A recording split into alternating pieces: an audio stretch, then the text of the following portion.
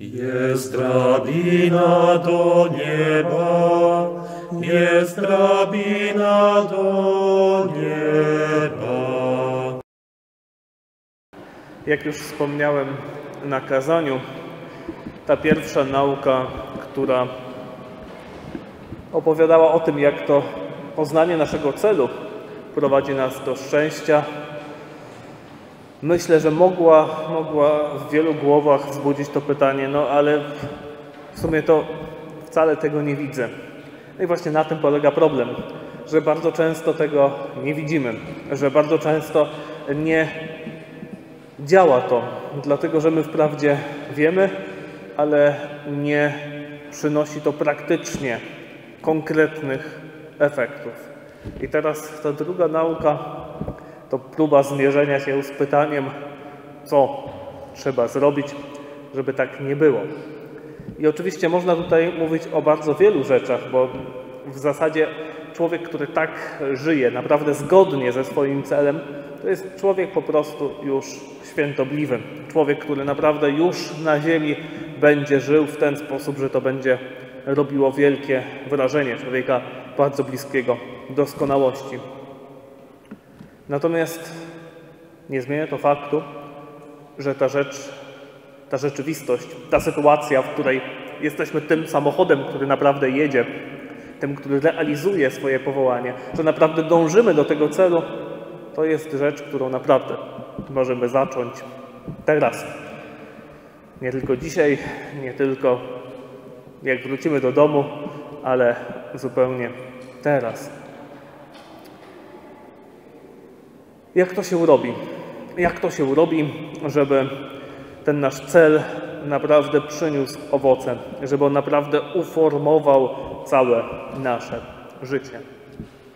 Jest pewien klucz do tego wszystkiego i to jest klucz wcale nie odkrywczy, wcale nie nowy. Ja tutaj nie e, wynalazłem jakiegoś nowego odkrycia i teraz ogłaszam całemu światu i e, duchowość katolicka nie będzie tego wykładu e, cytowała po wsze czasy jako właśnie tego, który odkrył to, co najważniejsze, dlatego że od wieków już, od wieków już Kościół doskonale to wiedział. No ale niestety też trochę zapomniał i w tej nowszej duchowości nie ma tego. Dlatego też wiele osób, włącznie ze mną, mogło w ogóle o tym nie usłyszeć, pomimo tego, że praktykują, chodzą do kościoła i przez wiele, wiele lat mogli nie usłyszeć o tym, co faktycznie jest tym kluczem, co jest tym elementem, który sprawia, że nasze codzienne życie jest zgodne z tym celem. Jest tutaj pewien klucz, ale jest to trochę klucz zapomniany. Wy natomiast już wielokrotnie o tym kluczu słyszeliście, tylko jeszcze może nie zdajecie sobie z tego sprawy. Choć mam nadzieję, że może niektórzy już zdają sobie z tego sprawę. A więc człowiek żyje zgodnie ze swoimi nawykami. To, co myślimy, to, co uznajemy za prawdziwe, to niekoniecznie od razu przekłada się na to, jak żyjemy. Natomiast to, jaki wyrobiliśmy w sobie nawyk, to jest rzecz, która konkretnie wyznacza, jak wygląda nasz dzień. A więc człowiek, który wyrobił sobie nawyk, na przykład, że przez cały dzień coś podjada. To jest rzeczywistość, ten nawyk wyznacza praktycznie każdy dzień tego człowieka. Człowiek, który wyrobił sobie nawyk, że 6 godzin dziennie spędza przed komputerem. No i nie mam tutaj na myśli nauki zdalnej, to na razie weźmy w nawias. Mam na myśli spędza przed komputerem, właśnie na internecie, mediach społecznościowych, grach i tak. To jest pewien nawyk. I skoro to jest nawyk, czyli to weszło w krew, to znaczy, że to będzie wyznaczało kolejne dni, być może do końca życia, jeśli tego nawyku nie zmieni. Jeśli ktoś wyrobił w sobie poprzez praktykowanie, dopuszczenie, taki nawyk, że w trudnych sytuacjach ratuje się kłamstwem.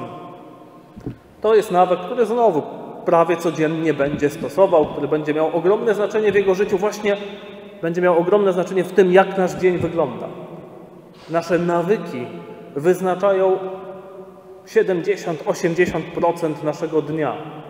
Oczywiście tych nawyków jest mnóstwo, tak? Przyzwyczailiśmy się do mnóstwa rzeczy, one regulują w jaki sposób zachowujemy się w konkretnych sytuacjach, no bo przecież człowiek nie działa w ten sposób, że cały czas tak jakby chciał Kant. To bardzo ciekawa wizja moralności. Kant chciał, żeby człowiek cały czas był w takim napięciu, głębokim napięciu moralnym i cały czas był w tej gotowości, żeby zrobić to, co uzna że mógłby zrobić każdy człowiek w, w, tej konkretnej sytuacji. Czyli według Kanta człowiek powinien w każdej chwili prowadzić taką głęboką analizę moralną i w każdej chwili być gotowym, żeby podjąć działanie takie, jakie mógłby podjąć każdy człowiek postawiony w takiej sytuacji. E, tak oczywiście nie działamy. My działamy właśnie poprzez nawyki. Przyzwyczailiśmy się do czegoś i postępujemy w ten sposób. I myślę, że odpowiedź jest już dosyć prosta. W jaki sposób sprawić, że nasz dzień, nasze życie będzie zgodne z tym celem?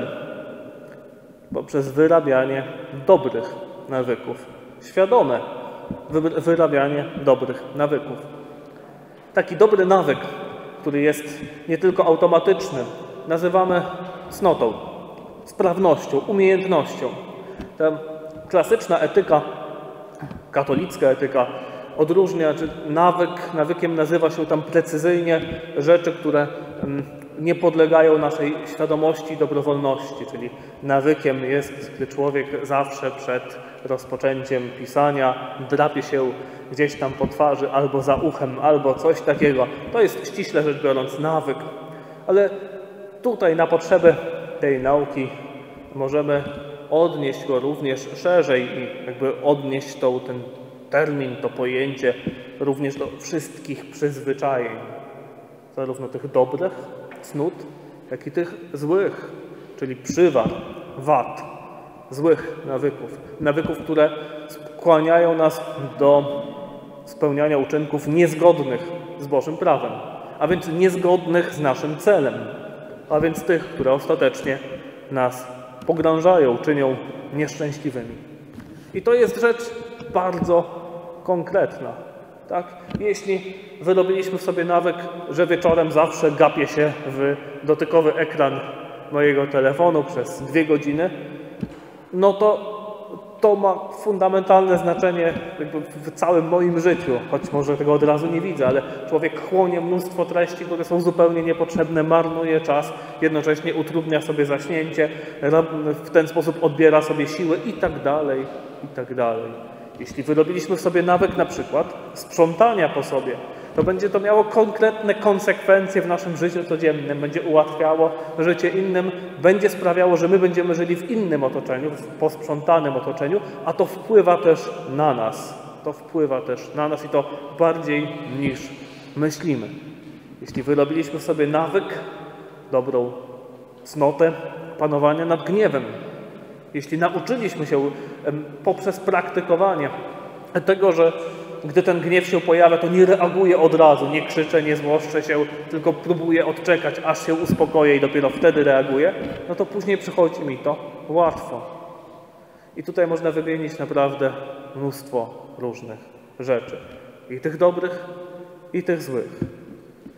Jeśli nauczyłem się okazywać wdzięczność, gdy doświadczam czegoś dobrego, to tysiąc razy w ciągu dnia będę tą wdzięczność okazywał. A taki człowiek, który jest wdzięczny, Taki człowiek, on rozsiewa mnóstwo radości, bo on dostrzega to, co drugi człowiek dla niego zrobił. On rozsiewa mnóstwo takiej pozytywnej energii. To naprawdę jest rzecz, która jest bardzo wartościowa. Jeśli człowiek wyrobił sobie przyzwyczajenie, cnotę, męstwa, wytrwania w trudnościach, no to znowu to będzie przynosiło konkretne owoce. Kwestia pracowitości, wykonywania swoich obowiązków, to są bardzo konkretne rzeczy. Tak, wyrabiam sobie nawyk, że zawsze, jak mam przerwę pomiędzy lekcjami zdalnymi, no to wtedy, no właśnie, co wtedy? Włączam od razu media społecznościowe, wypróbuję wyjść na dwór, odpocząć. To wszystko są pewne przyzwyczajenia, które się wyrabiają. Poprzez powtarzanie się wyrabiają. I one konkretnie wyznaczają nasze życie. A więc to nie jest to, co ja uważam, co kształtuje nasze życie. To pośrednio tak y, powinno zadziałać, ale właśnie ja uważam coś za słuszne, za prawdziwe, dobre i wtedy to musi rzutować na codzienność, ale pomiędzy tym, co uważam, a codziennością są właśnie nasze przyzwyczajenia, nasze nawyki. Dlatego to, co uważam, musi oddziaływać na nawyki. To jest konkretna płaszczyzna, która musi zostać zmieniona. Dlatego w katolickim wychowaniu nauka o cnotach jest nauką fundamentalną, podstawową. I w zasadzie nie ma mowy o katolickim wychowaniu bez nauki o cnotach, bez ich praktykowania bez wypracowywania dobrych nawyków, które świadomie i dobrowolnie sobie wypracowujemy, bo uważam, że to jest słuszne, żeby nauczyć się, żeby wyrobić sobie przyzwyczajenie na przykład sprzątania po sobie, albo wdzięczności, albo wypełniania swoich obowiązków w takiej w takiej sytuacji, albo roztropnego planowa planowania czasu, odpoczynku po pracy. To również jest dobry nawyk. To jest rzecz, która pomaga nam w dążeniu do naszego celu. I w ten sposób działa, działają idee albo ideały. W ten sposób działa, oddziałuje wiara na nasze konkretne życie. I jeśli nie ma tego połączenia, jeśli ja chcę dążyć do celu, ale w praktyce to mam takie nawyki, jak siła ciążenia przykazuje. No, czyli siła ciążenia, czyli te, które podejmuję z najmniejszą linią oporu idę po najmniejszej linii oporu i tak sobie wybieram takie nawyki właśnie, które niewiele kosztują. One wcale nie są dobre ani na poziomie zdrowotnym, ani na poziomie psychofizycznym, ani na poziomie duchowym, ani na poziomie owoców, efektów mojej pracy. Na żadnym poziomie takie nawyki nie są dobre. Ale są zwykle najprostsze. Dlatego bez świadomej pracy nad tym, bez zastanowienia się, aha, co ja teraz robię? Co ja robię zawsze o tej porze? Dlaczego ja zawsze wtedy marnuję czas na to i na to? Dlaczego ja zawsze w tej, w tej sytuacji zachowuję się w ten i w ten sposób? No bo przyzwyczaiłem się do tego, żeby się tak zachowywać. I tutaj nie ma innej metody, jak bardzo konkretne postanowienie poprawy. I to jest, znowu, poruszamy się tutaj w rzeczach znanych w katolickiej moralności od wieków, ale wcale nie takie oczywiste. Postanowienie poprawy to powinien, być, to powinien być konkret. Gdy przychodzę do spowiedzi i obiecuję, poprawę obiecuję, to no, często to, są tylko, to jest tylko takie zdanie. A tak naprawdę to no, chcę się poprawić w sumie, ale wracam do tego, co było. No bo, no bo tak, bo taka jest siła ciążenia, taka jest siła grawitacji. Jeśli ja chcę się poprawić, to konkretnie. W tej i w tej sytuacji bardzo często zdarza się, że tracę cierpliwość. No to konkretnie w tych sytuacjach właśnie chce się mieć na baczności. Marnuję czas mnóstwo na media społecznościowe albo cokolwiek innego. No to kiedy to się dzieje? W jakich okolicznościach? I w tych okolicznościach chcę się mieć szczególnie na baczności. Chcę zmienić mój nawyk. Coś innego muszę tam zaplanować. Coś innego muszę tam zrobić tak, żeby zmienić ten nawyk na jakiś inny, na dobry, na taki, który i przybliży mnie do celów doczesnych, bo dzięki temu będziemy działali owocniej i przybliży mnie do celu ostatecznego. Bo dobre nawyki to są takie, które są zgodne z wolą Bożą. Dlatego to jest wielka tragedia. Być może spotkaliście się z tym już i na lekcjach katechezy, i być może gdziekolwiek indziej bardzo często w nauczaniu moralności pomija się kwestię cnót. To jest naprawdę bardzo powszechne zjawisko. I to nawet to nie jest kwestia, zwykle gdy coś krytykuję, to mówię, a to teraz w najnowszych czasach, ostatnie 50 lat, to tam już coś nie działało na pewno. E, to tym razem zrobię wyjątek i powiem, że to już nie działało od dawna. To znaczy e, już w czasach poreformacyjnych ewidentnie w katechetyce katolickiej usuwa się w cień element pracy o cnoty, walki o cnoty, a coraz bardziej wysuwa się na pierwszy plan e, walka jakby o dziesięć przykazań, czyli nauczanie moralności w kontekście dziesięciu przykazań. Ale to jest zupełnie co innego, bo gdy mówimy o przykazaniach, co trzeba robić, czego nie trzeba robić, to pozostajemy tak naprawdę na tej płaszczyźnie tych, tej najwyższej, tych ideałów, tak, wiemy, co trzeba robić, czego nie trzeba robić. Wspaniale. ale taka codzienność to upływa tak, jak upływa.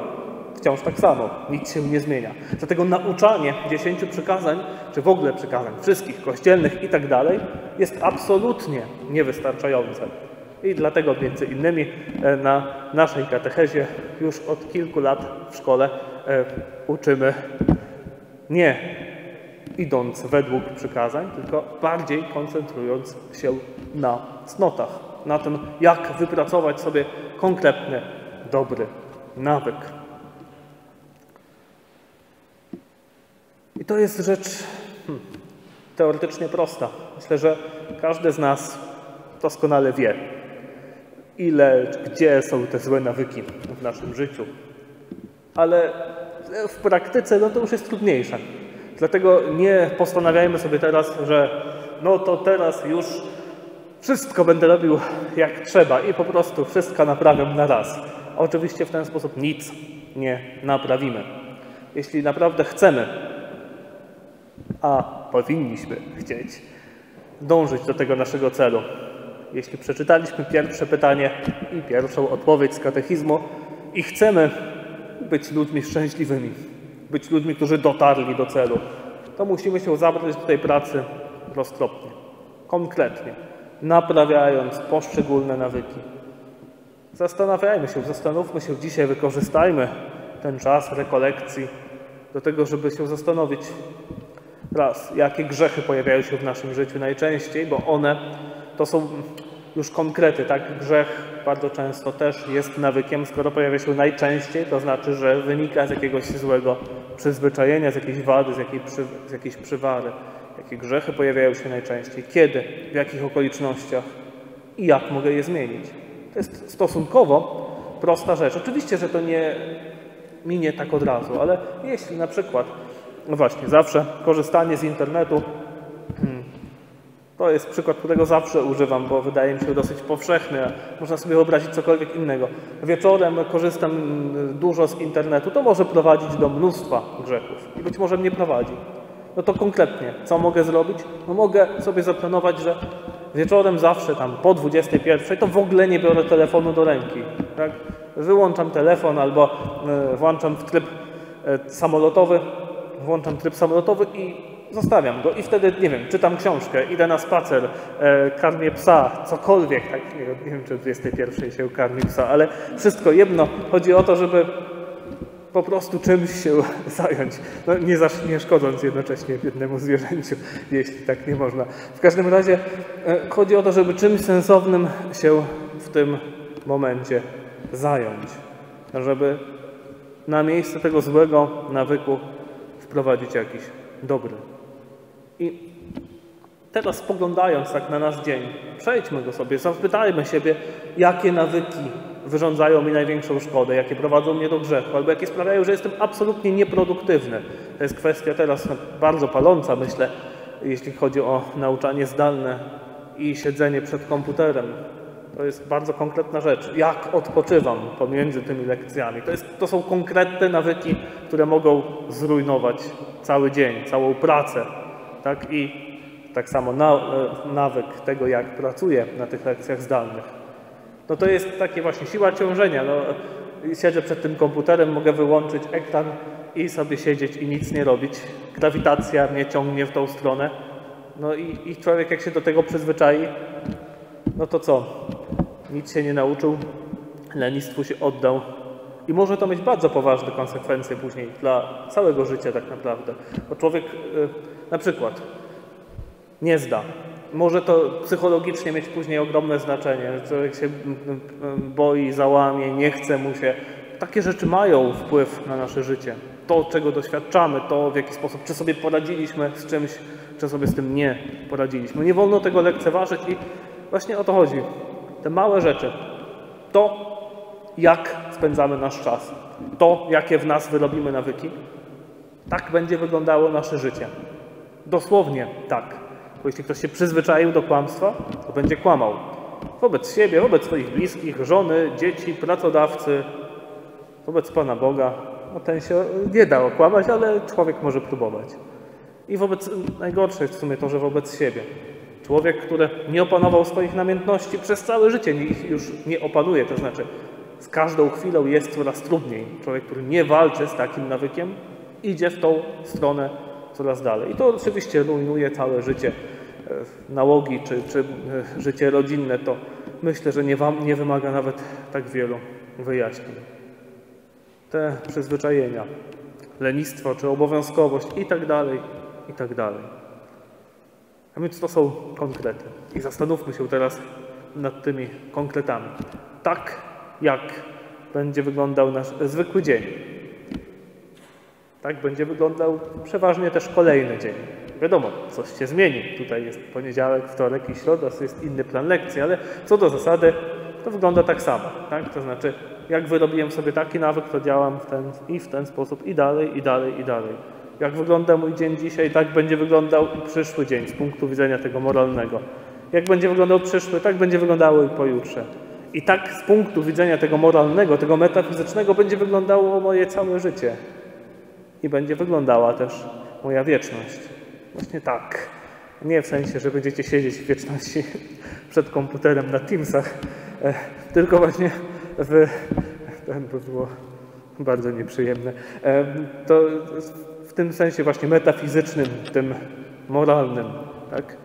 Te dobre nawyki, one zaowocują, one przyniosą te dobre owoce i gdy doprowadzą już właśnie na wieczność, e, wtedy te dobre ziarna, które zostały zasiane, przynoszą owoc i każda ta cnota tutaj wypracowana, dobry, nawyk, dobry nawyk, ona tam kwitnie w tej wieczności, przynosi owoc, jest źródłem radości. I tak, tak będzie wyglądała cała wieczność. Bowiem dobre nawyki, cnoty porządkują one sprawiają, że nasze życie staje się coraz bardziej uporządkowane, coraz bardziej zgodne z celem. Tak jak ten samochód, tak? który dobrze działa, który ma dobrego właściciela, który o niego zadba i tam wszystko jest na swoim miejscu, jest idealnie. Tam żaden plastik nie trzeszczy, żadna e, śrubka nie jest, nie jest poluzowana, wszystko jest tak jak trzeba i olej nie cieknie. Wszystko jest tak jak trzeba. Tak? I ten porządek sprawia, że to wtedy dobrze działa. Tak samo działają cnoty. Porządek, który wprowadzamy w naszym życiu, sprawia, że to życie coraz bardziej przypomina niebo i sprawia, że jesteśmy szczęśliwi. Natomiast oczywiście, jeśli tego brakuje, to chociażbyśmy teoretycznie wierzyli, cel nasz uznawali, mieli go przed oczami i nawet chcieli do niego dążyć, to nie będziemy do niego w praktyce dążyli, bo w praktyce będziemy się zajmowali cały czas czymś innym, bo w praktyce nasze życie będzie rozsadzone mnóstwem nieporządku, mnóstwem jakichś zupełnie niepotrzebnych spraw, którymi zajmujemy się nie tak jak trzeba, nie wtedy, kiedy trzeba. A więc weźmy się konkretnie za nasz dzień. Co mogę zmienić? Jakie mam nawyki? co muszę zmienić. I miejmy tą świadomość, że od tego zależy wszystko. Dosłownie wszystko. Nasze szczęście tutaj na ziemi, nasze szczęście wieczne, szczęście tych, którzy są dookoła nas, szczęście naszych bliskich, bo żyć z takim człowiekiem, który jest stale właśnie w jakimś nieporządku, jest straszne. A żyć z człowiekiem, który jest pełen tego porządku, pełen cnoty, pełen tego ukierunkowania na cel, to jest rzecz piękna i, i przyjemna. Prośmy dzisiaj Pana Jezusa, żebyśmy to potrafili. I na koniec będziemy jeszcze rozważali drogę krzyżową. Jest drabina do nieba, jest drabina do nieba.